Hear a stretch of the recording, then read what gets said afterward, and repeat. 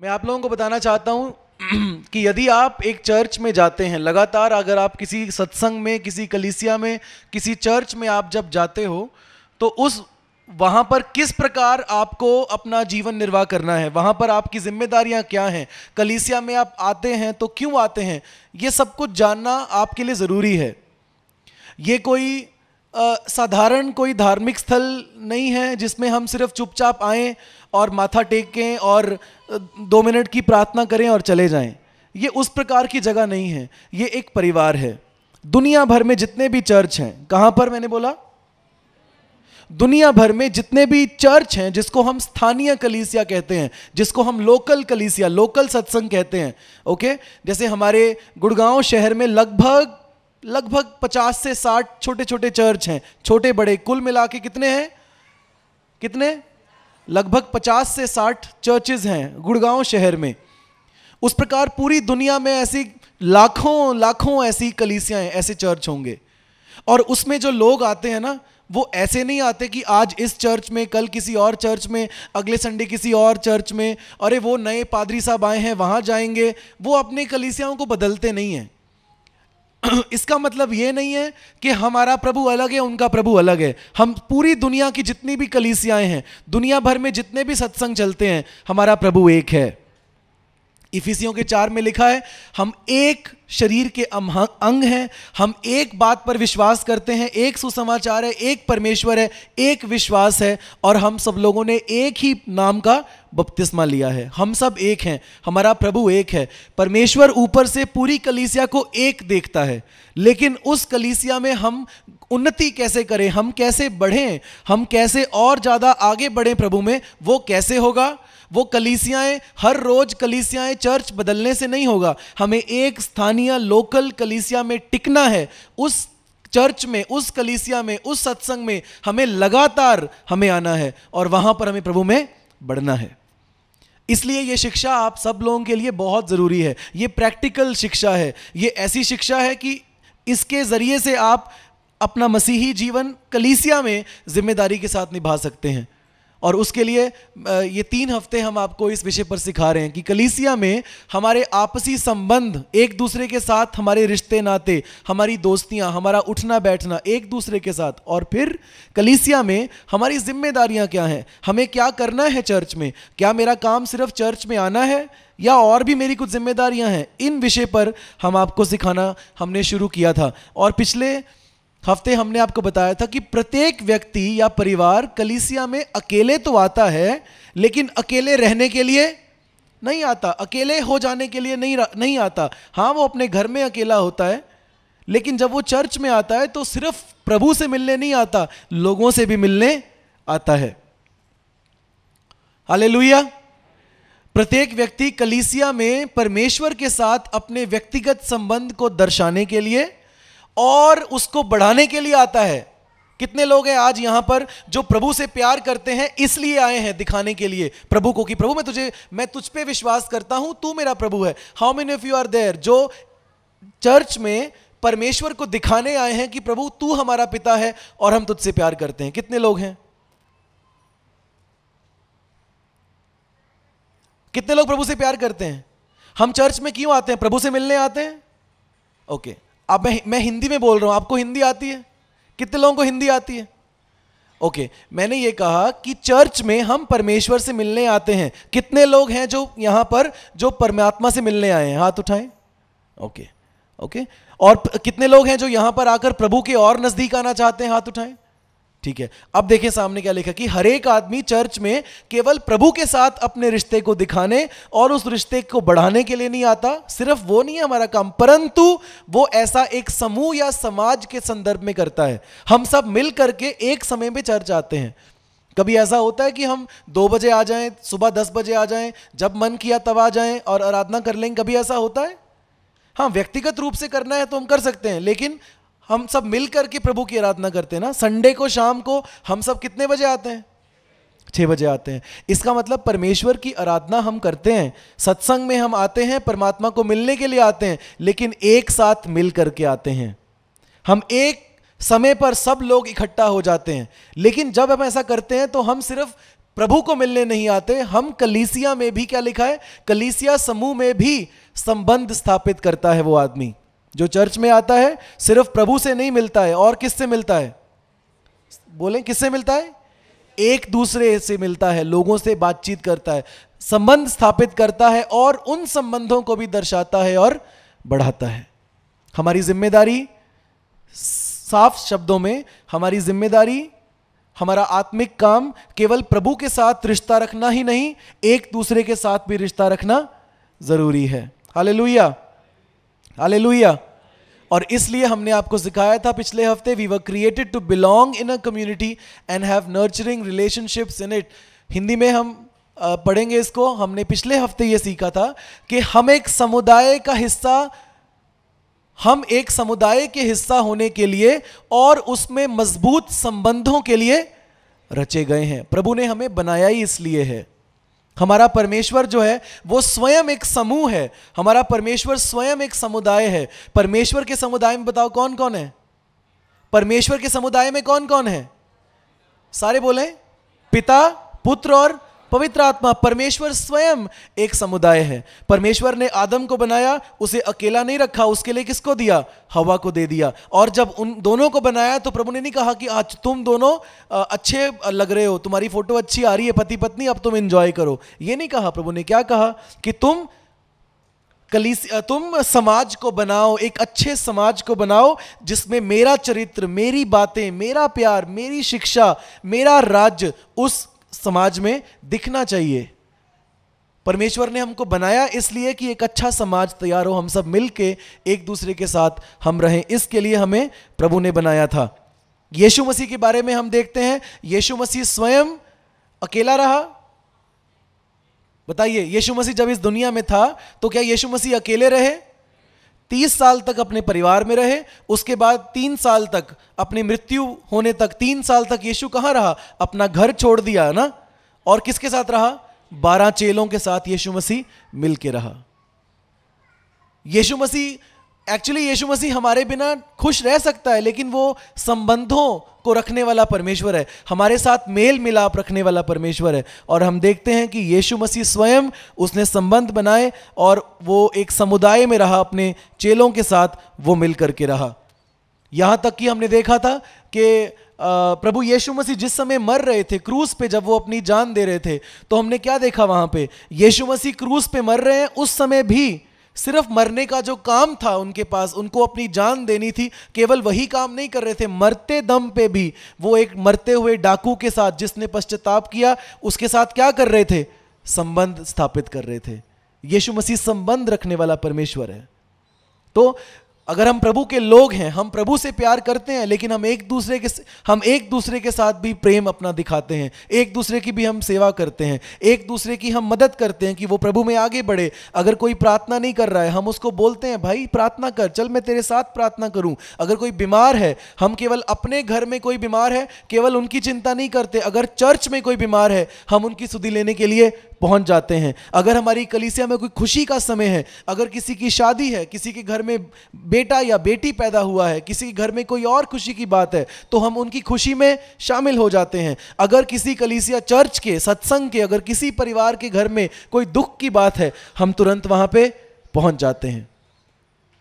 आपको मालूम है, सिर्फ़ परमेश्वर समुदाय नहीं है। सिर्फ़ यीशु मसीह समुदाय में रहा, ऐसा नहीं है। जब कलीसिया की शुरुआत हुई, सब मुझे बताएँ, कलीसिया की शुरुआत कब हुई थी? चर्च की, कलीसिया की शुरुआत कब हुई थी? चर्च कब पैदा हुआ था, बताएँ? ओके, यीशु मसीह का स्वर्ग आरोहण हो गया, यीशु मसीह ज़िंदा हो गए, ज़िंदा होने के बाद वो चालीस दिन के बाद वो स्वर्ग में उठा लिए गए, उसके बाद उसके पचासवें दिन हम देखते हैं कौन आ गया? पवित्र आत्मा आ गया और जब दुनिया में पवित्र आत्मा आ गया तो पवित्र आत्मा के आ जाने से, जिस दिन पवित्र आत्मा आ गया, आधिकारिक रूप से प्रैक्टिकल रूप से, उस दिन कलिसिया का जन्म हो गया। और जब लोग यीशु मसीह पर विश्वास करने लगे, लोग अपने अलग अलग विश्वास थे अलग अलग बातों पर वो पड़े हुए थे अलग अलग बातों में व्यस्त थे, यीशु पर विश्वास नहीं करते थे। लेकिन जब वो यीशु में विश्वास करने लगे, और जो शुरुआती कलीसिया थी, जब चर्च नया था, जब सब नए नए थे, जब सब यीशु के नाम पर विश्वास करने लगे, उनके जीवन से हमने इन बातों को देखा था। किन बातों को देखा था? हमने देखा था प्रेरितों के काम, दो के बयालीस में, पढ़ें क्या लिखा हुआ है? लोग क्या करते थे? एक साथ सब पढ़ सकते हैं? सब ज़ोर से पढ़ सकते हैं? लोग एक साथ वचन सीखते थे। सोचने की बात है, मिल करके, सारे बोलो मिल करके। ध्यान से सुने, बाइबल के अनुसार, इस पद के अनुसार हम, इस खंड के अनुसार हम देखते हैं, जो पहला काम कलीसिया ने मिल के करना चाहा the first thing that the church did together was what learning the word of God जो पहला काम कलीसिया ने किया मिलकर के वो क्या था? परमेश्वर के वचन को सीखना था। आप अपने आप से पूछें, परमेश्वर का वचन सुनने के लिए एक साथ, संडे के दिन आने के लिए परमेश्वर का वचन सीखेंगे, इसके लिए कितना आपका दिल करता है? कुछ लोगों का दिल तो ये करता है, चर्च तो आ जाते हैं, लेकिन वचन के टाइम पे कहाँ चले जाते हैं? कहाँ चले जाते हैं? बाहर चले जाते हैं। लेकिन जो सच्ची कलीसिया थी जो प्रभु के प्रेम में डूबी हुई कलीसिया थी, जो यीशु मसीह को सचमुच में आदर सम्मान करते थे, जब वो लोग इकट्ठे होते थे ना सत्संग में तो पहला काम क्या करते थे? अपने पास्टर के द्वारा क्या सीखते थे? वचन को सीखते थे। आप अपने जीवन में जांचें, वचन से प्यार करने वाले हैं या वचन के समय भागने वाले हैं? वचन को प्यार करते हैं? वचन को सुनना चाहते हैं? वचन को सीखना चाहते हैं? वचन पढ़ना चाहते हैं? परमेश्वर हर संडे जब हम चर्च में आते हैं, परमेश्वर हमसे क्या बात करना चाहता है? ये जानना चाहते हैं, सुनना चाहते हैं। अगर आप लोगों का संडे का चर्च मिस हो भी गया, अगर आप किसी कारणवश चर्च नहीं आए तो क्या आप अगले दिन, उसके अगले दिन, क्या आप यूट्यूब पे जाकर के संडे को क्या वचन आया था? मैं तो नहीं आया चर्च में। मैं सुनना चाहता हूँ, क्या आप सुनते हैं वचन? क्योंकि हम लोग रिकॉर्ड करते हैं, क्या आप सुनते हैं? कलिसिया क्या करती थी? एक साथ वचन सीखती थी। दूसरा उनके अंदर खूबी मिल, मिलजुल कर वो वचन सीखते थे। एक साथ और वो क्या करते थे? क्या लिखा है? एक साथ संगति करते थे। एक साथ मिल के समय बिताते थे। एक साथ एक दूसरे को एनकरेज करते थे। और क्या करते थे? एक साथ प्रभु भोज में भाग लेते थे। हम सबको मालूम है कि महीने के पहले दिन प्रभु भोज होता है। क्या उस दिन हमारा मन तड़पता है, क्या हमारी प्रायोरिटी होती है कि आज तो प्रभु भोज है, आज मुझे जाना ही जाना है? क्यों? ये नहीं कि मैं प्रभु भोज लूँगा, ये कि हम सब मिलकर प्रभु भोज लेंगे। ये भावना है आपके अंदर? प्रभु भोज अगर मैं आपको आपके घर आके एक एक करके दे सकता हूँ एक्चुअली दे सकता हूँ मैं।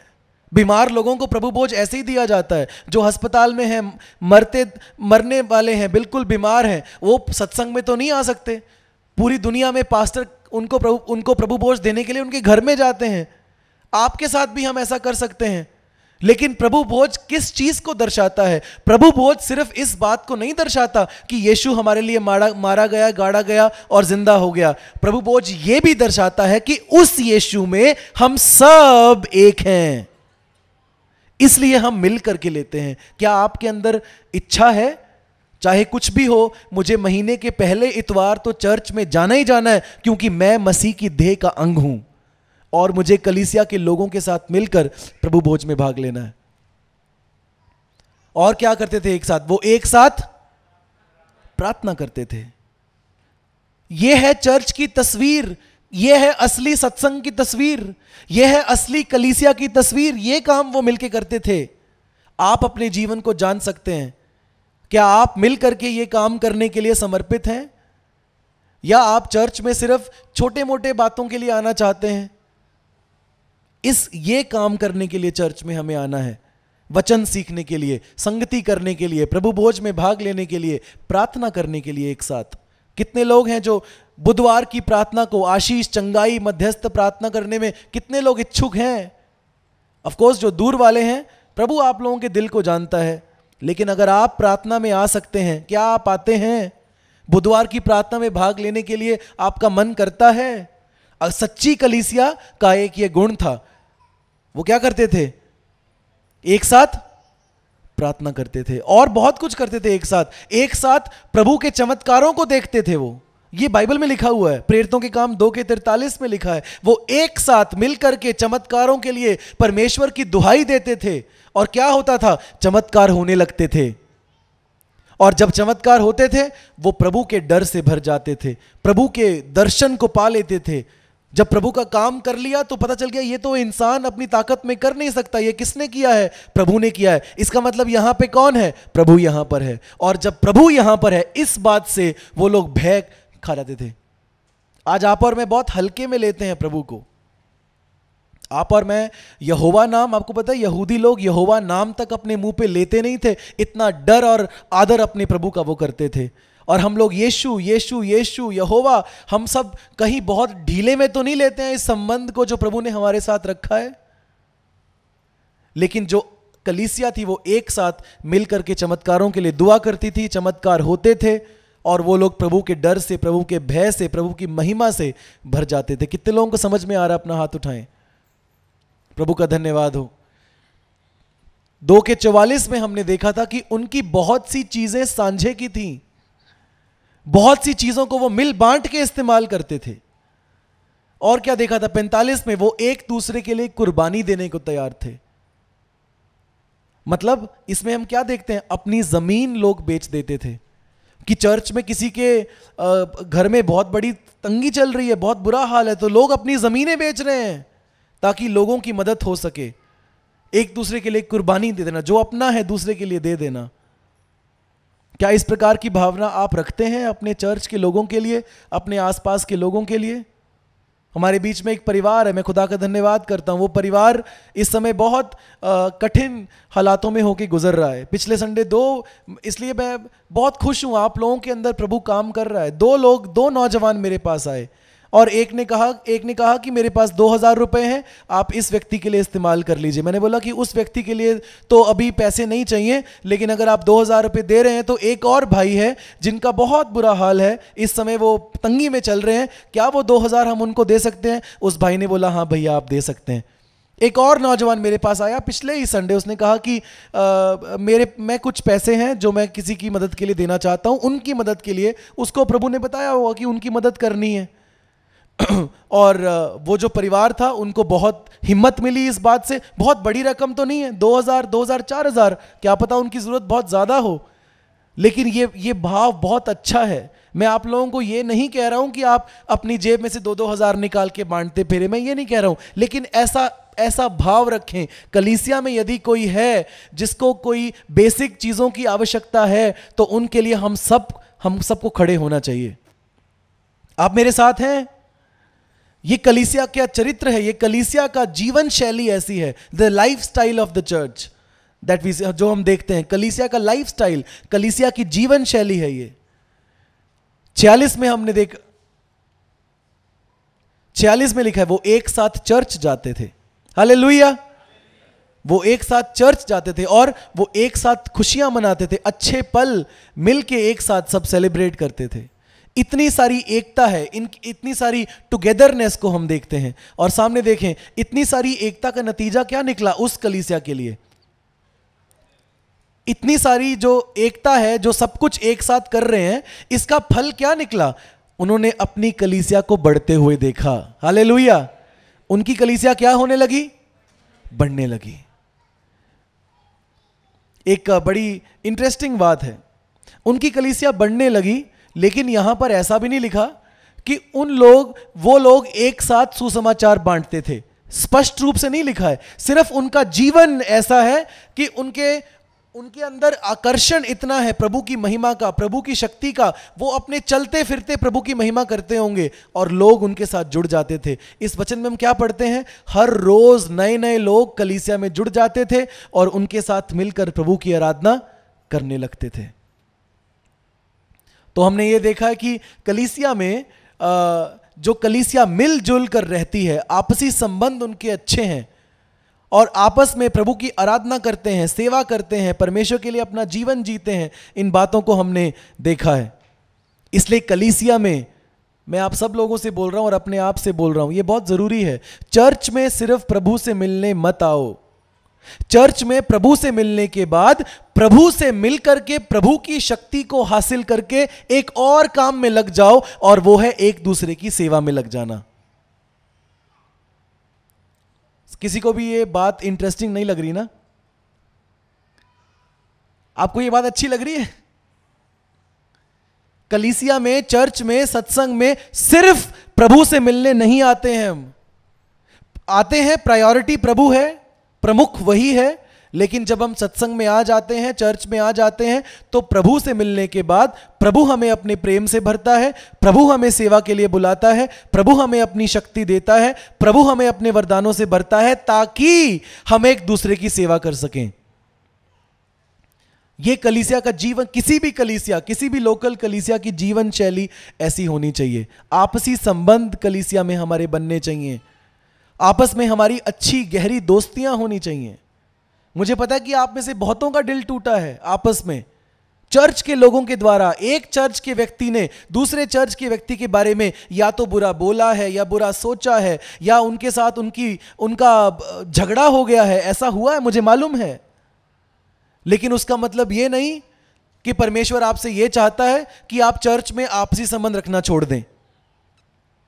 क्योंकि हम सब लोग हैं, हम सब अभी भी ह्यूमन बींग्स हैं, हमारे अंदर भावनाएँ हैं, हमारे अंदर गुस्सा है जिसको हमें काबू करना है, हमारे अंदर प्यार है जो हम कभी कभी हमसे यू नो जिसको हम व्यक्त करना चाहते हैं कभी कभी हमें कोई समझ नहीं सकता। हमने हमने चर्च में किसी को कुछ बोला, उसने मेरी बात का गलत मतलब निकाल दिया और वो व्यक्ति मुझसे नाराज़ हो गया और मुझे लगता है कि अरे, मैंने तो उसे कुछ बोला ही नहीं, वो क्यों, वो तो ऐसी बुरा मान के बैठ गया और इस प्रकार दूरियाँ आनी शुरू हो जाती हैं। आपको पता है, हमारे इंसानों के बारे में इवन क्रिश्चियंस के बारे में एक चीज़ ये है, सब दुनिया के सब लोगों के बारे में है, बचपन से हमारे अंदर है, क्योंकि पाप हमारे अंदर है। वो ये है, हम सब स्वार्थी हैं। एक्चुअली मनुष्य क्या है? स्वार्थी है।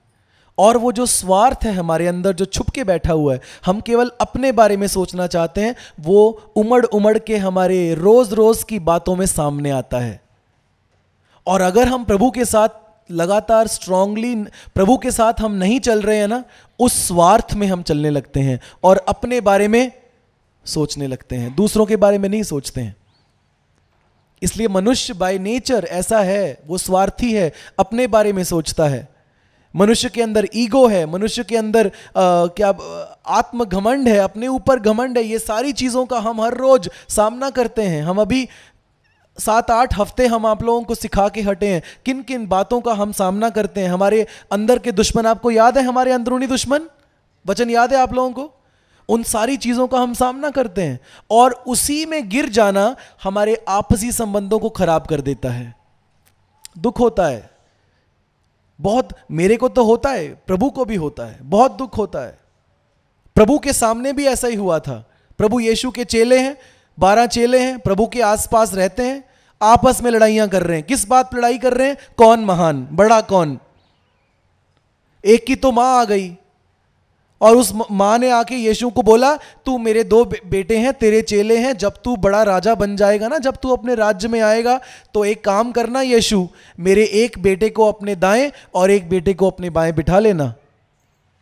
उतने में और जल गए, औरों को प्रॉब्लम हो गई, क्योंकि सबको यीशु के पास रहना है। हर कोई जो मेन बंदा है, उसके साथ नंबर वन यू नो उसका क्लोज फ्रेंड होना चाहता है। और इसलिए ये ये यीशु के टाइम से चलता आ रहा है। एक दूसरे पर दोष लगाना, ये कब शुरू हुआ? जिस दिन दुनिया में पाप आया, उस दिन एक दूसरे पर दोष लगाना शुरू हो गया। आदव ने बोला, इसने मुझे दिया था फल खाने के लिए। और इस प्रकार एक दूसरे पर दोष लगाना हम बाइबल में भरी पड़ी है बाइबल इन इन बातों से। जब आपसी संबंध खराब हो जाते हैं बट इट डज उसका मतलब यह नहीं है कि आप आपस में संबंध रखना बंद कर दें।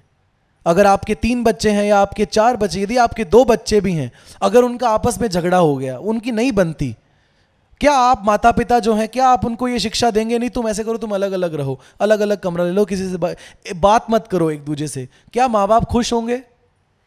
आप क्या देखना चाहेंगे? आपके बच्चे एक दूसरे के साथ अच्छे रिश्ते में रहें हमारा पिता भी यही चाहता है। इसलिए आपसी संबंधों के प्रति हमारा समर्पित होना we have to work it out ये ऑटोमेटिक नहीं हो जाएगा। चर्च में अच्छे संबंध होने चाहिए। तो चलो बटन दबा दो। आज के बाद मेरे चर्च में सबसे अच्छे संबंध है और बड़ा मज़ा आ रहा है। ऐसा मज़ा नहीं आता उसमें। उसमें दुख होता है। उसमें हम हर्ट होते हैं। उसमें बार बार क्षमा करना प्रैक्टिस करना पड़ता है। बार बार दूसरों को माफ़ करना। रात में 12 बजे अगर नींद नहीं आ रही है किसी और व्यक्ति के द्वारा तो हम रात में बिस्तर में लेट के उस व्यक्ति को कोसेंगे नहीं। हम अपने बिस्तर से उठ के अपनी कुर्सी पे बैठ के या अपने बिस्तर पर लेटे लेटे, जिस व्यक्ति के कारण हम सो नहीं पा रहे हैं, उस व्यक्ति के लिए हम प्रार्थना करेंगे। कठिन है। आपसी संबंध एकदम से ठीक नहीं हो जाते हैं, अपने आप ठीक नहीं हो जाते हैं, उनके लिए त्याग करना पड़ता है, उनके लिए परमेश्वर से मदद और हिम्मत मांगनी पड़ती है। प्रभु यीशु के अंदर वो धीरज था। ऐसे लोगों के साथ रहना जिनकी आपस में नहीं बनती है, जो स्वार्थी हैं, जो प्रभु की शिक्षा को ग्रहण कर करके कर करके, लेकिन उनके अंदर असर नहीं हो रहा है। तीन साल से प्रभु के वचन रोज सुने। आप लोग तो हफ़्ते में एक बार सुनते हैं ना प्रवचन? चेले लोग हर रोज सुनते थे। फिर भी चेलों के आपस, चेलों के बीच में आपस में झगड़े होते थे। इस बात पर कि कौन महान है, कौन बड़ा, कौन नीचा, इस बात पे। लेकिन पर ये, यीशु मसीह जानता था कि जो यहूदा है, वो चोर है। यीशु मसीह फिर भी उसके साथ तीन साल तक रहा। तो जब मैं आप लोगों को जब बाइबल आप लोगों को ये सिखाती है कि आपस में अपने संबंध अच्छे करो, आपस में एक दूसरे की सेवा करो, एक दूसरे के साथ मिलजुल के रहो और अपने इश्यूज़ को सॉर्ट आउट करो वर्कआउट करो, भले टाइम ले लो, लेकिन इच्छा तो रखो, प्रार्थना तो करना शुरू करो। परमेश्वर कर सकता है। लेकिन अगर आपके इस चीज़ के प्रति आप लोगों का समर्पण, समर्पित होना बहुत बहुत ज़रूरी है।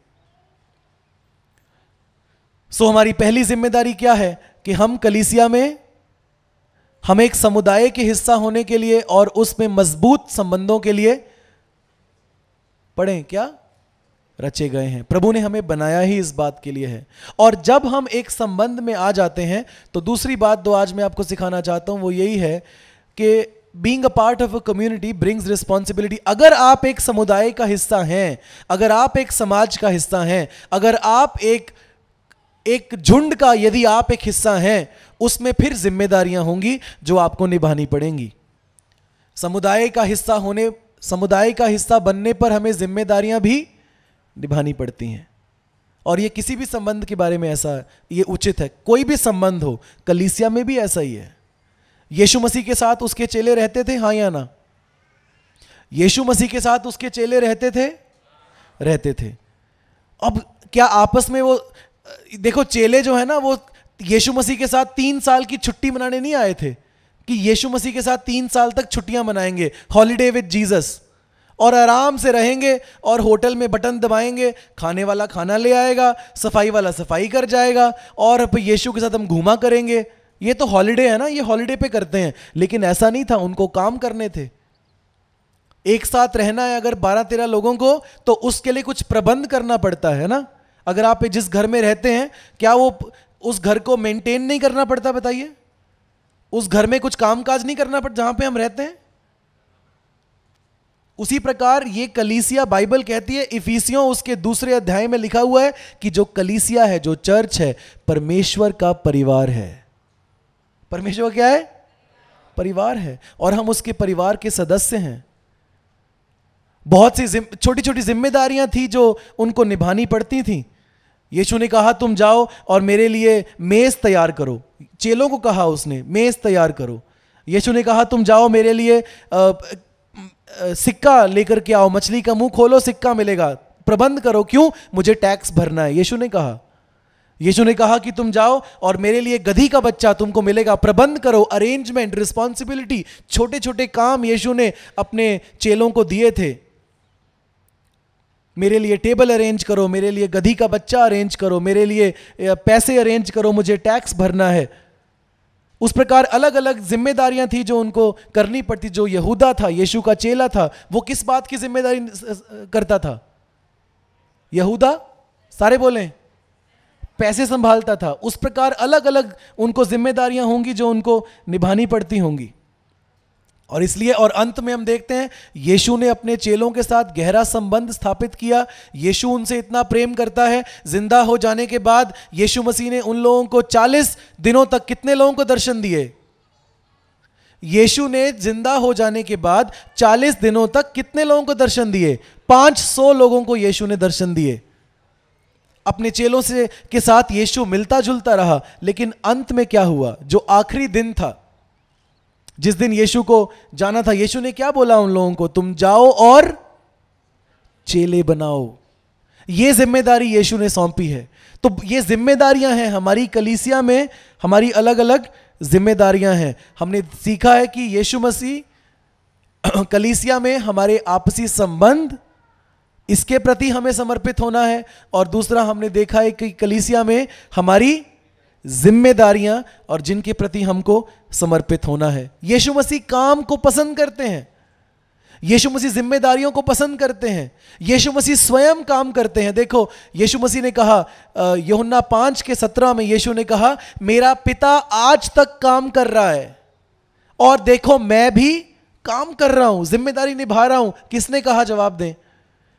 ये किसने कहा? यीशु ने कहा, यहुन्ना पाँच के सत्रह में लिखा है my father is always at his work मेरा पिता हमेशा काम करता है। आज तक काम कर रहा है और मैं भी काम कर रहा हूँ। और हम जानते हैं कि यीशु को जो ज़िम्मेदारी सौंपी गई थी, जो उसके पिता ने यीशु को जो काम दिया था, यीशु ने उस काम को पूरा किया। यीशु पिता परमेश्वर से कह रहे हैं, हे पिता, जो काम तूने मुझे इस धरती पर दिया था करने के लिए, उस काम को पूरा करके मैंने तेरे नाम को महिमा दी है। हम सब प्रभु को महिमा देना चाहते हैं? कितने लोग हैं? हम खुदा को महिमा देना चाहते हैं? खुदा को महिमा देने का एक ये भी तरीका है।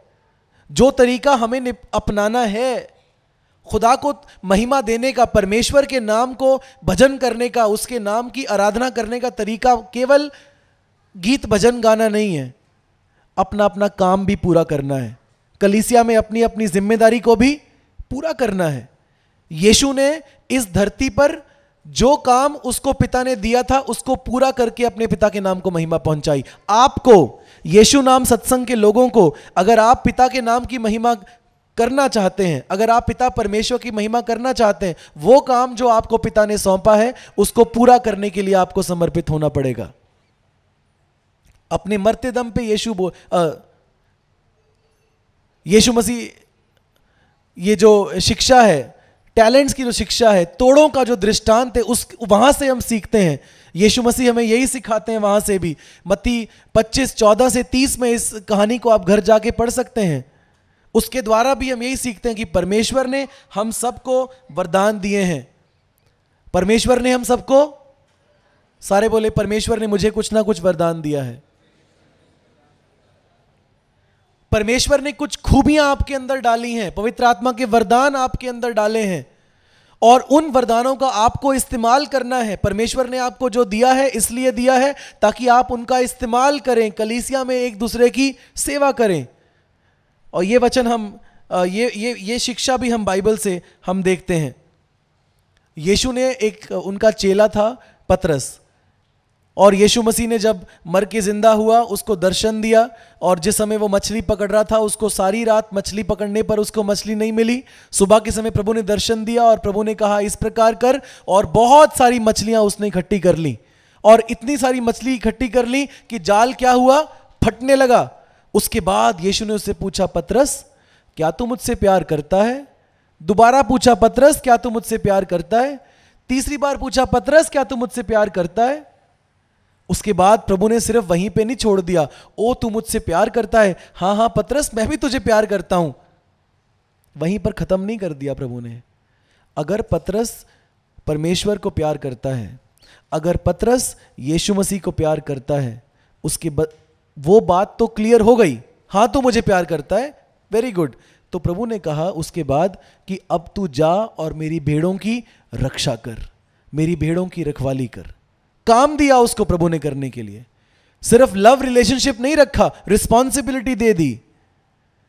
अगर आप कलीसिया में प्रभु के साथ अपना संबंध रखते हैं और एक दूसरे के साथ भी संबंध रखते हैं तो फिर आपकी कुछ जिम्मेदारियाँ भी हैं। चर्च में, कलीसिया में, सत्संग में आपकी कुछ जिम्मेदारियाँ हैं, जो आपको निभानी है। पत्रस के साथ यही हुआ। प्रभु ने उसे कहा, तू प्यार करता है? हाँ करता हूँ। तो प्रभु ने बोला, चल, अब तू जा, काम कर और मेरी सेवा कर। प्रेरितों के काम उसके एक के आठ में प्रभु ने कहा कि मैं जाऊँगा, पवित्र आत्मा तुम्हारे ऊपर आएगा और जब पवित्र आत्मा तुम्हारे ऊपर आएगा तो तुम क्या करोगे? तुम मेरे गवाह बनोगे। हम लोग जो पेंटिकॉस्टल जैसे जो लोग हैं, हमारे अंदर एक जुनून है। वो क्या है? पवित्र आत्मा से भर के अन्य भाषा बोलने का। मेरे अंदर मुझे अच्छा लगता है। बहुत से लोग हैं जो पवित्र आत्मा में होके, मगन होके, झूम के आराधना करते हैं, प्रार्थना करते हैं, अन्य भाषा में प्रार्थना करते हैं, दुष्ट आत्माएँ निकालते हैं। लेकिन प्रभु ने क्या कहा? पवित्र आत्मा अगर तुम्हारे अंदर होगा तो सिर्फ़ यही तुम्हारे चिन्ह नहीं होंगे। अगर पवित्र आत्मा तुम्हारे अंदर होगा, पवित्र आत्मा तुम्हारे ऊपर आएगा, पवित्र आत्मा, और तुम क्या करोगे? मेरे नाम के गवाह बन जाओगे। तुम दूसरों को मेरे नाम की गवाही दोगे। गवाही देना क्या है? एक काम है। बोलो, गवाही देना काम है? इस काम के प्रति क्या हम समर्पित हैं? इस ज़िम्मेदारी के प्रति क्या हम समर्पित हैं?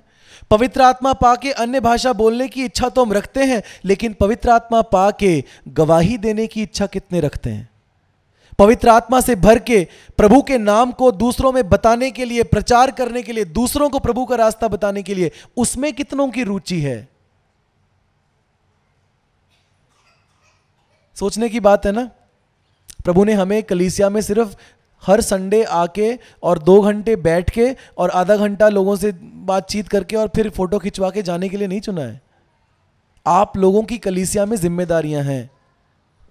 और हम धीरे धीरे आपको इसको और सिखा, आपके घरों में आके भी हम आपको इस बात को और सिखाना चाहते हैं। हम आपके घरों में आएँगे, आपको सिखाना चाहते हैं इस बात के बारे में कि भैया तुम्हारा काम केवल चर्च में आके बैठना नहीं है। आपको चर्च में काम करना है। आपको प्रभु यीशु मसीह का संदेश अपने दिलों में ले जाकर के बाहर दूसरों को बताना है, दूसरों की सेवा करनी है, दूसरों के दास आपको बनना है। तुम्हारा ध्यान प्रभु रखेगा, तुम्हारे लिए सब कुछ करेगा, तुम्हारे लिए चमत्कार भी करेगा, बीमारियाँ भी दूर करेगा। तुम प्रभु के राज्य में कितने कार्यरत हो, तुम प्रभु के राज्य में कितने एक्टिव हो, इन बातों को सोचने की ज़रूरत है। कलिसिया तभी हेल्दी मानी जाती है अगर कलीसिया का हर व्यक्ति सेवा के काम में लगा हुआ है। मेरे पीछे ज़ोर से बोलें, अपना हाथ ऊपर उठाएँ, और प्लीज़ सब मेरे पीछे ज़ोर से बोलें, कलीसिया, तभी स्वस्थ मानी जाती है जब कलीसिया का हर एक व्यक्ति सेवा के काम में लगा हुआ होता है। आपकी, आपका स्वस्थ होना अलग बात है, भैया, हम चर्च के स्वस्थ होने की बात कर रहे हैं। आप तो ठीक, आपकी बीमारी दूर हो गई, ठीक है, हम चर्च की बीमारी दूर करने की बात कर रहे हैं। उसके लिए ध्यान है। अपनी बीमारी दूर करने के लिए ध्यान है। चर्च बीमार है। अगर आप चर्च में सेवा नहीं कर रहे हैं यह बाइबल का कथन है। इफिसियों की समय नहीं है, अभी खत्म करते हैं हम दो मिनट में। इफिसियों की पत्री में हम देखते हैं कि जो पादरी होते हैं, जो चर्च के जो लीडर होते हैं जो अगवे होते हैं, हमारा काम क्या है? आप लोगों को सेवा के कामों के लिए तैयार करना। यह हमारा काम है। तो सोचिए भाइयों बहनों, आप लोग जिम्मेदारियाँ निभाने के लिए, कलीसिया में अपनी जिम्मेदारियाँ जानने के लिए इंटरेस्टेड हो। कितने लोग जानना चाहते हैं कि, पास्टर, हमको बताओ कि बाइबल से हमारी, की हमारी जिम्मेदारियाँ क्या हैं? कौन कौन जानना चाहता है कि आपकी जिम्मेदारियाँ चर्च में क्या क्या हैं? आप जानना चाहते हैं? अगले हफ़्ते आप ज़रूर चर्च में आए। अगले हफ़्ते मैं आप लोगों को सिखाऊँगा वचन में से आपकी gym what are your responsibilities as church member कलीसिया के मेंबर होने के नाते लगातार सत्संग में यदि आप आते हो, आपकी क्या जिम्मेदारियाँ हैं, आपका क्या रोल है, आप क्या करेंगे? बाइबल हमको सिखाती कि पॉलुस सिखाता है और वो क्या कहता है? पॉलुस कहता है कि जिस प्रकार एक शरीर होता है हमारा और उस एक शरीर में अलग अलग अंग होते हैं। अपना सारे अपना दाहिना हाथ दिखाएँ। ओके दाहिना हाथ वेरी गुड हाँ ये दाहिना ही है। अपना बाहिना हाथ दिखाएँ। बाया हाथ बाया हाथ दिखाएँ। ओके सब लोग अपना नाक दिखा दें प्लीज़ हम बोलते हैं ना बच्चों को शोमी और नोज़ अभी आप दिखाए शोमी और नोज़ किधर है आपका नोज़ ओके पॉलूस कहता है। ये मैं नहीं कह रहा, कौन कह रहा है? बाइबल का वचन कह रहा है। क्या? जिस प्रकार एक शरीर होता है उसमें अलग अलग अंग होते हैं अलग अलग अंगों का अलग अलग काम होता है। अब अपना खाना नाक में डाल सकते हैं। पॉलूस क्या कह रहा है? इस बड़ी साधारण सी बात के द्वारा वो बड़ी गहरी बात सिखाना चाहता है। वो कहता है, जिस प्रकार हमारा शरीर होता है, उस शरीर में अलग अलग अंग होते हैं अलग अलग अंगों का अलग अलग काम होता है, उसी प्रकार चर्च एक शरीर है। और चर्च के अलग अलग लोग अलग अलग क्या है? अंग हैं। इसका मतलब अलग अलग अंगों को अपना अपना क्या करना है? काम करना है। समझ में आ गया? प्रभु के वचन ने बड़ी आसानी से समझा दिया। हाले आपका काम है कोई चर्च में। जितने भी लोग यहाँ बैठे हैं, आप चार महीने से आ रहे हो, थोड़ा सा ना मैं पुराना हो जाऊँ, थोड़ा सा सीख लूँ। दो तीन सालों के बाद सेवा, ऐसा नहीं है।